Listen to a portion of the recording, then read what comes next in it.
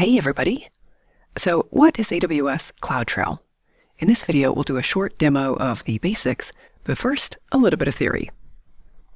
CloudTrail records user activity and API usage on your AWS account. So APIs are really the code that make everything happen in AWS. If I go into the console and I create a new IAM role, that issues an API call, and that code creates that role. Or if I terminate an EC2 instance, or even if I log into the AWS console, all of those actions are making API calls on the backend, and CloudTrail tracks that. This service is primarily used for auditing purposes. So say that you're investigating a security incident, for example, and trying to figure out who created a new key pair that was used to log into an EC2 instance. CloudTrail would have logged that activity so you can backtrack and find it. This is automatically enabled on your AWS account. It'll save a history of API calls made through the console, so the things that you do in the browser, or if the calls were made from the command line interface or CLI, or programmatically through the SDKs. And then it also logs things from higher level services like CloudFormation, which will provision and delete AWS resources. You can view CloudTrail activity in the CloudTrail part of the console, which I'll show you in a second, but it also integrates with CloudWatch and S3 if you want to send your logs there instead. And this is actually a requirement if you need to save things longer than 90 days because they're automatically deleted after that.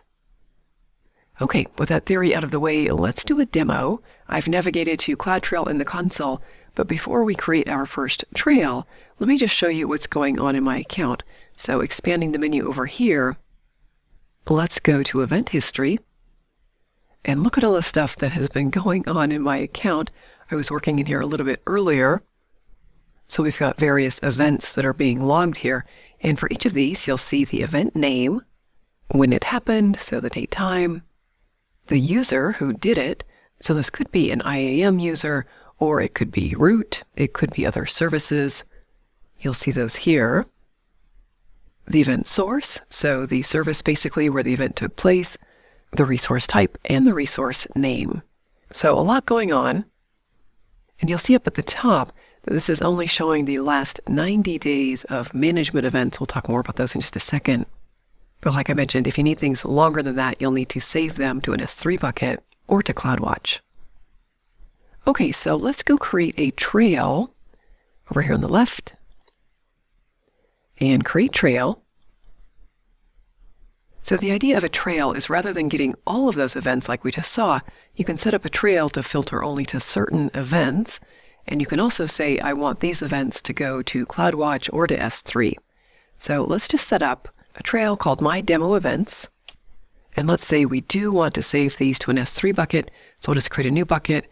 We'll go with the name here. Scrolling down, by default, your log files will be encrypted. I will just deselect that. We're going to keep things simple. And then you can also do log file validation, which will basically let you check if your log files changed after they were delivered. Again, we're just going to keep things simple and disable that, but that is an option.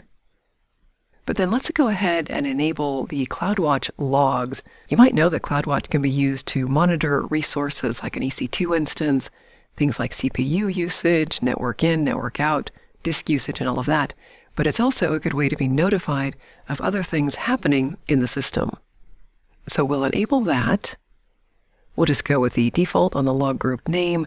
We will need an IAM role, so the CloudTrail has permissions to send things to CloudWatch. We'll just do a new role here. I'll call it my CloudTrail role. I do already have one with that name, so I'm going to do a dash one here. You can use whatever name you want go with all of the defaults and everything else, and say Next. And now we need to specify what type of events we want to record. So management events are the ones that we've been talking about, things like creating new resources, logging in, that kind of a thing. These are enabled by default, and they're free. And then there are three other kinds of events. So data events would be something like reading or writing to an S3 bucket. These do cost extra though, as do insight events and network activity events. Insight events basically try to make sense of all the information coming out of CloudTrail to find unusual activity or anomalies.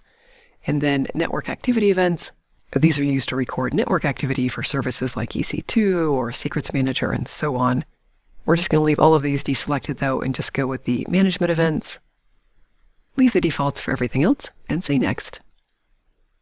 Review, scroll down, and create trail. Okay, so we have a trail. It's currently logging our activity and the output is being stored in an S3 bucket. So let's go take some new action so that there's something to look at in the logs. I'll just open up a new tab here. And we'll create a new EC2 instance. So I'll go to EC2 and launch an instance. I'll just zip through this really quickly. If you need EC2 basics, then check out this video linked above and below. But my demo server will go with Linux, free tier eligible AMI, free tier eligible instance type. I don't need a key pair. We're not going to do anything with this instance, so we're just going to keep it really simple. I'll go with the default security group and then launch the instance. So we just need something to log into CloudTrail so we can go take a look at it. Okay, so it has launched. Let's check out the status here. So still initializing. While that's going though, let's go back to CloudTrail and the logs are being sent to this S3 bucket, which you can just open up by clicking on the link here. Let's see what's going on here, if anything yet. It might take a minute. Okay, so we've got something. There's a folder. Let's just traverse down here. No files yet in the CloudTrail folder. We'll give it just a minute for that EC2 instance to spin up and then I'll refresh and we'll see what we get. Okay, our instance has launched. Everything is up and running there. This was launched in US West 2B, and if we come back to our S3 bucket, you'll see that I've got a folder for that. There was also some stuff happening in US East 1. That's got a separate folder. But let's just drill in here and see what we've got. All of these folders are automatically created for you with the dates. And here you'll see that we've got a .gz file. And if we were to click into this and then open up here on the top, you'll see that there's tons of things happening here that are being logged. I do have an option to pretty print, which makes them a little bit easier to read. But this stuff is also being sent to CloudWatch logs because we enabled that earlier. So let's go take a look at it there. That will also be a friendlier version so CloudWatch, let me just come into a new tab here. We'll navigate there. If you need the basics of CloudWatch, then check out the video linked above and below. But in here, we need to go to Logs, and then Log Groups. And you'll see a bunch of different log groups here for the different services. So there should be one for CloudTrail. Let me just filter down on that. I'll choose the top one here, now, it does take a few minutes for things to show up in CloudWatch, so if you're not finding what you're looking for right away, you might just need to give it a minute or two. But scrolling down, it looks like we've got things coming back. This is today's date, so let me just click into the top one. And lots of information, lots of things being logged here. Let's filter down to instance and see what we get. So here you'll see things like the user identity. I am logged in as root. We've got some filters for describing instance. Let's see what we've got down here. Filter log events. So there's going to be a whole bunch of stuff here. You can do filters. You can create alarms to be alerted if a particular thing happens.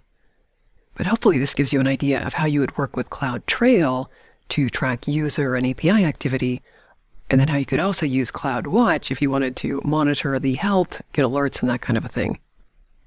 So that does it for this video. Short and sweet. If you are following along, make sure that you go back and terminate your instance so you don't end up with a surprise bill. Just select the instance, come into instance state, and then delete that. All right, if you found this helpful, give me a thumbs up on the video and also consider subscribing for more content like this. Thanks so much for watching.